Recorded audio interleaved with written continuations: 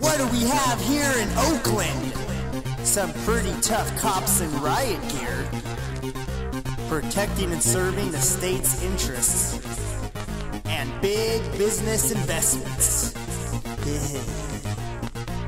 They got toys, all sorts of toys. Concussion grenades, rubber bullets, tear gas, baton, tasers, and pistols. But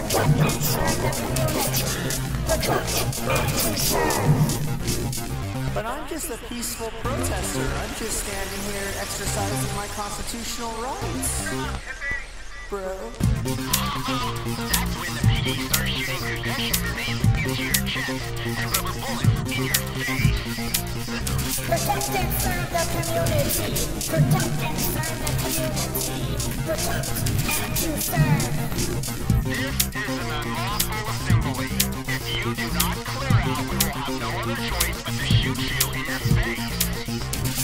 demonstrators are dangerous, maybe even violent.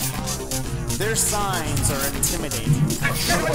Funny thing, I was standing around holding my Occupy Oakland sign. I got shot in the face. Ouch. We are the Oakland Police Department.